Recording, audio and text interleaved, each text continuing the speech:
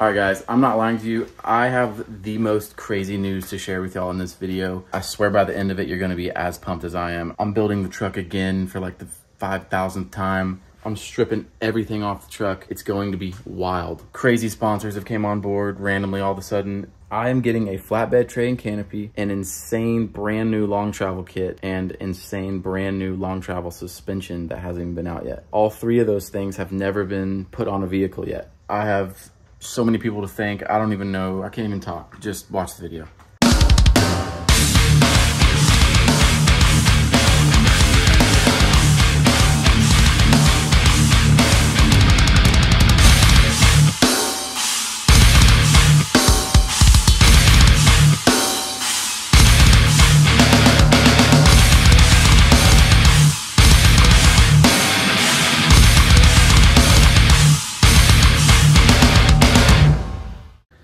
I got a little ahead of myself and I've already started stripping things down, blah, blah, blah. And you're probably like, Grant, why the heck are you doing this? Fill me in, tell me what's up.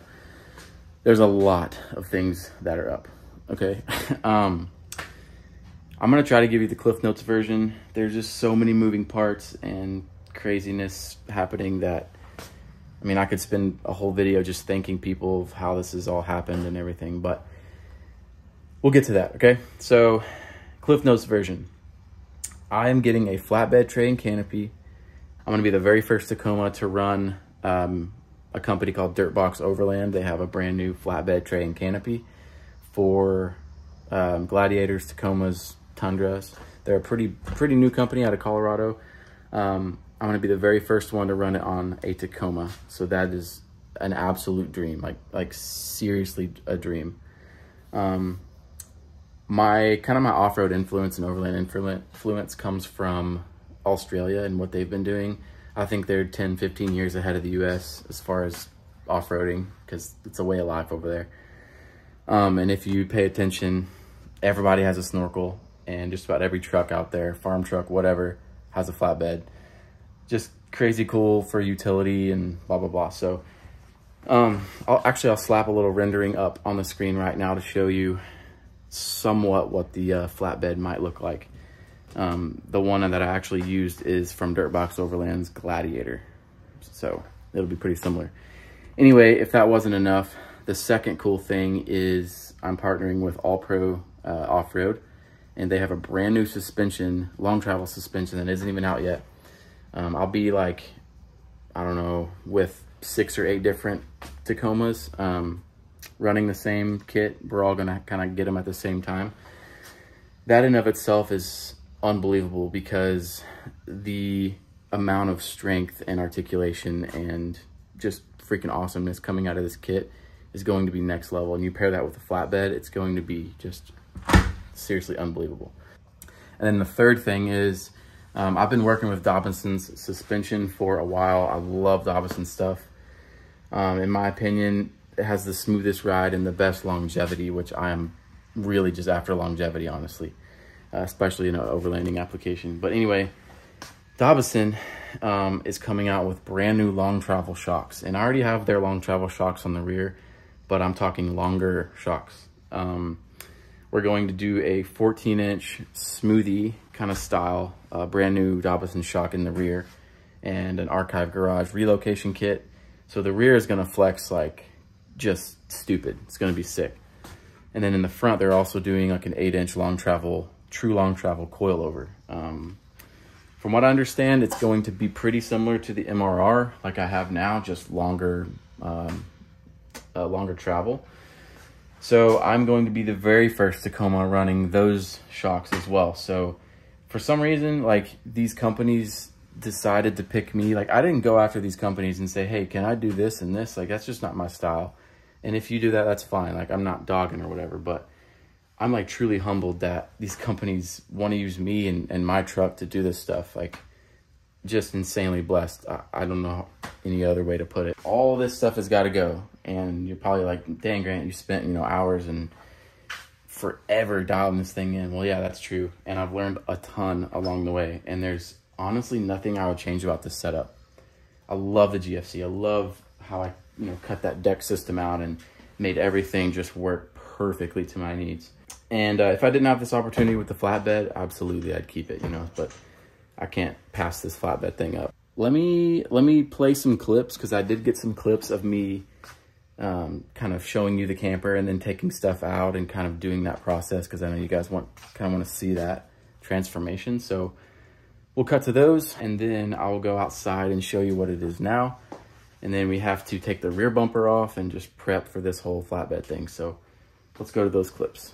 The entire camper setup, the rear bumper swing out system, all that stuff, the whole interior GFC build, all of that is going to change. Uh, and by change, I mean be completely removed. So let me just show you guys the final setup that I'm about to just completely tear down and take all apart. Uh, I think most of you guys are pretty familiar with my setup, but if any new subscribers or any anyone new watching hasn't seen it, I'll just show you briefly. The reason I say this is bittersweet is because, I mean, I already said in the beginning, like I've spent hours and hours and days and days and days and days out here in the garage, moving stuff around, making sure everything's perfect and exactly accessible where I want it. And I'm a total nerd and I geek out about all that kind of efficiency stuff when camping. Um, I also just got my whole truck ceramic coated and paint corrected and it looks beautiful and I'm about to take it completely off. Uh, also, I know a lot of people are going to, um, you know, ask me, is all this stuff for sale? So I sold everything. One guy is going to buy the GFC, the deck system I made, and the rear swing out bumper. Um, he's gonna buy the awning, the solar up there, um, some of these bags, the MOLLE panel. I'm keeping the fridge, but all this stuff's gonna go. But yeah, this was my setup. Well, is my setup, but uh, it's not gonna be anymore. Stuff in my drawers for uh, cooking. I have lighting here. There's light down there and up there, everywhere. Um, I built this floor and cut the deck system out. Um, shaved down a lot of this. Um, I sealed all this up really, really good. Um, I have my whole entire air up system here on both sides. This is the Fasterflate system. Uh, I have an air chuck right over there for that side and it runs over here to this air chuck. Uh, I'm gonna refigure the new roof rack, however that ends up being up there. But here's the last look, the absolute last look. All right, a little update before it gets too dark. So, took the MOLLE panel off, um, stripped all the camera, or all the cameras, the lights, uh, well, working on the lights, um, the levels, the stuff on the side over here. And then I have all these totes and stuff. Everything from my drawer. Here, let me set this down. Everything in this drawer has been emptied cleared out. I feel like I'm moving, like moving houses, because I kind of am. um, everything that was in that drawer is in here, pots and pans. Um, all of the uh, toiletries, um, propane, fire starting things. This is some of the wiring that I had nice and neat up here for the chase lights. Disconnected the brake light to that light there. That's my solar and my um, my fridge. Stuff I hardwired for the fridge. What's there? I got all these drawers, or totes, I guess. This little Plano tub. It's like a foot deep. It's got all the crap that was like all over the camper. Lights and Quick Fists and MOLLE panels and stratchets and fire extinguishers Oops, sorry, I thought I was in fisheye. Um, hammocks, just everything. Off-road jack, jumper cables, all kinds of crap. So, got the beef bars off too. And my max MAXTRAX off. And I got these new mounts from Wild Mitten Project for, um, I want to run a GFC on the, the new setup. But uh, these are ultra low profile mounts that you don't need the beef racks and they just look like they're floating up there. They look mega clean. Now, I just check them out. Wild Mitten Project. These are freaking awesome. My goal is to get some neighbors around here and help lift the GFC off tomorrow. I'd love to have the the deck and the GFC off and just run uh, run the swing out with just the truck bed because I've never done that before. Just see what it looks like, mix it up for like a, a week or so, and then I'll pull the rear bumper and then we'll go from there and start the new stuff. All right guys, here's a little update. So I have removed the GFC and the deck system completely. Um, shout out to my awesome neighbors. They helped me lift this gigantic camper off of here. All of this stuff is out. Such a pain to disconnect all the wires and everything. I've never seen my truck like this. So I'm gonna take off the Zarges cases up there, leave that little roof rack. Pretty crazy looking. We'll see if I get any more MPG out of it. Honestly, I doubt I'll get much. So I think we used a total of five people and got this thing off. It's just sitting in here on some 2x4s. Everything's stripped off of it. The deck system is right here. Um, all my hardware and parts and air compressor and crap are in these two totes. I probably, oh my, all my other stuff's over there. Man, I'm guessing, let's see, that's about 300 pounds with the awning. The deck is 200, so that's 500. I probably had 200 pounds of gear. No, maybe not 200, 100 pounds of gear. So maybe looking at 600 pounds, something like that. And then the bumper is two, 225, six, seven, 800 pounds. Tire is another 100 pounds.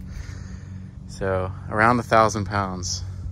And then I'm gonna take the actual bed off when I do the flatbed and uh, whatever that weighs. So this truck's gonna be freaking goofy for a while.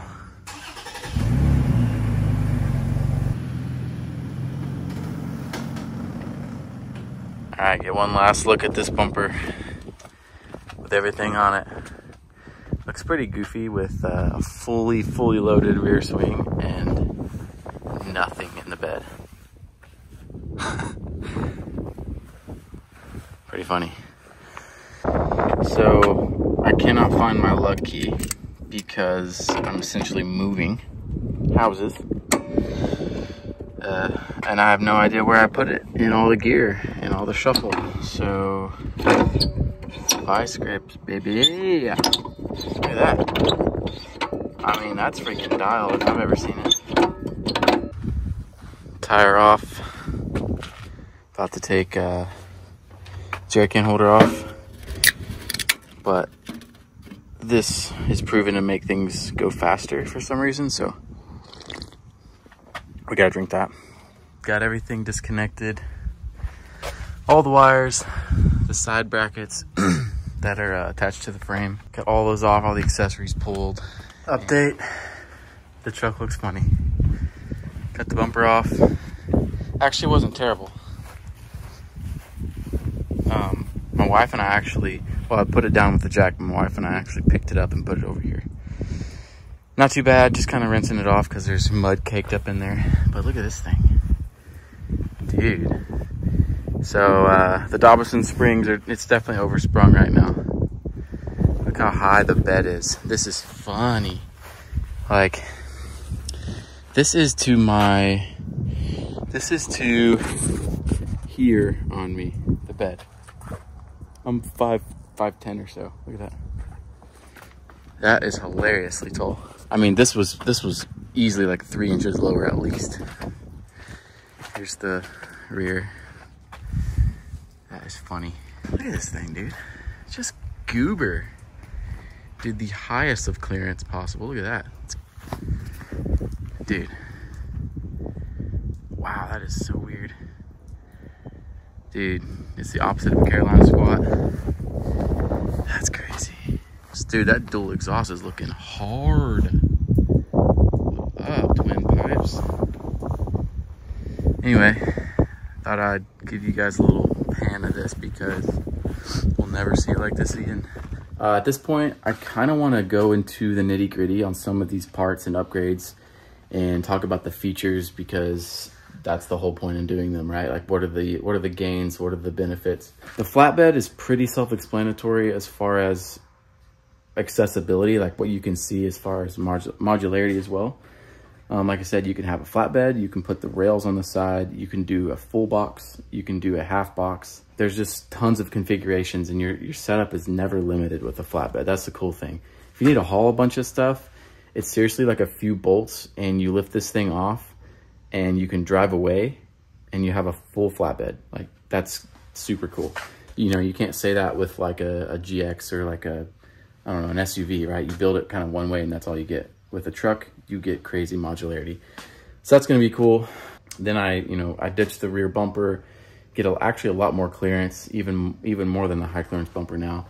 Um, better departure angle, just a bunch of benefits. Dirtbox also makes like a pull-out um, kitchen setup, kitchenette, I think is what it's called. Dude, it's nuts. It pulls out and it flips and it does all kinds of stuff. So they they make that as well. I'll have a fridge slide and it'll just be dialed in super cool. Oh, the other thing is there's gonna be water storage kind of in like the headboard area um, on one side and then your gas tank um, filler nozzle kind of gets relocated too. So, all right, next I want to talk a little bit about the new All Pro long travel kit. Isn't out yet. I'll be the first amongst a few others to get this on the truck and test it and everything. Well, that's kind of another thing to talk about, the testing. The All Pro guys, I believe, have said they've put on or made like 18 to 20 something revisions on this kit and been developing it for years. So it's not something that, you know, they just had an idea and they were like, oh, let's go and build this thing. It's been tested and abused. They took it to the Texas Jamboree and beat the crap out of it. Um, you know, they're, they're constantly trying to make the best product they can. So I'm, I'm confident this thing's gonna crush. So some details on it. That it's plus 2.75 width per side. That in of itself, just, just the amount of work to do that is wild, right? You gotta have um, longer uppers, longer lowers, longer CVs. All of it uh, is going to be included in the kit. Also, another weak point is the steering rack. So they have a uh, basically an LC 200 steering rack that I think they, they that they've kind of modified and made to their specifications. So upgraded steering rack, I believe upgraded steering pump, maybe something like that. Uh, and they're doing longer axle shafts. Um, the spindle is fully boxed, just as beefy as possible.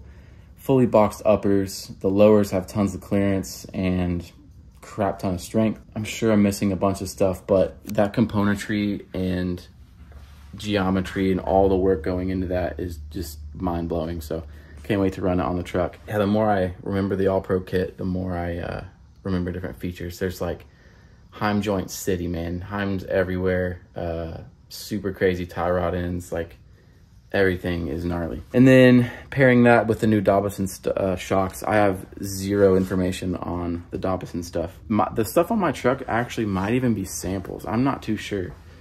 Um, but it, it is a product that, that they're going to come out and offer. So you guys can buy that if you decide to long travel your, your rig or whatever. That's kind of all the, the details that I know at this point. Let me show you my sweaty face. I don't really know of another update I'm going to do until I'm going to make a whole other video of the the canopy going on or the tray going on and all that. Follow my Instagram because I'll be able to do shorter bursts of content there. On Instagram, it's just, uh, or sorry, on YouTube, it's way more of a production. So check out my Instagram for more updates. I guess lastly, like, I, I'm like super humbled that these companies are just so awesome. Like I said, I didn't, I didn't, if I did say this, I didn't reach out to them and say, hey, you know, can I run this and this? I'll give you this and this. And I don't really, I don't know. I'm not somebody who tries to ask for a bunch of stuff. I don't know. I just, these guys reached out to me and just for whatever reason, like I just feel so blessed that I was chosen to do all this stuff. Like, and if you know me, hopefully you know I'm being genuine here. And if you don't know me, I am being genuine here. I'm not, uh, not one to flaunt stuff or whatever. I, I despise that kind of crap. But just uh, just crazy, man. Crazy where the channel's gone. Crazy these opportunities. Sorry, I had to kind of end that last clip. My neighbor was walking up and needed something. Uh, oh, look at this. I didn't show you guys this. Um, we widened our driveway, if you couldn't tell. Um, none of this was here before just way better parking and for my off-grid trailer and everything. And I built this fence extension, which it's pretty sweet. Um, with this big farm gate. Pretty proud of it, pretty stoked. So that's kind of where it ended. But I did this all myself in one day. And uh, yeah, like I said, I'm pretty proud of it. It also swings fully that way too. Anyway, that was random. Yeah, like I said in that last clip, I uh, can't believe this is happening to me, and um, I just feel very lucky, I guess. And I'm, I, uh, I don't know, I'm, I don't want to call myself like an influencer or any of that stuff. I think there's a lot of negative connotation with that stuff, um, or can be at least. And I don't know, I just remind myself like I came from a little Jeep TJ, you know, like a few years ago. I don't even know how long it's been now, since maybe 2018, but and now I have this truck and it's already over the top and now it's gonna get even more crazy and like it's just crazy the community and everything and, and how everything's happened. So I'm just super thankful, I guess. Getting all sappy, but I'm pretty thankful. Um, all right, guys. Yeah, stick stick uh, around for the the other content as far as like getting the bed on there and everything. But uh, appreciate you guys following along. Thank you guys so much for the support. Really, it's all y'all's uh, doing this whole channel. You know, if this channel wasn't uh, wasn't popular, I'm sure I wouldn't be in all these um, scenarios and spots that I'm in. So thank you guys so much. The sun's setting though. I'm gonna mow. I'm still a regular dude. I mow my own yard. I'm uh, not rich and I don't live in a fancy house. But anyway, uh, thank you guys again. We'll see you in the next video.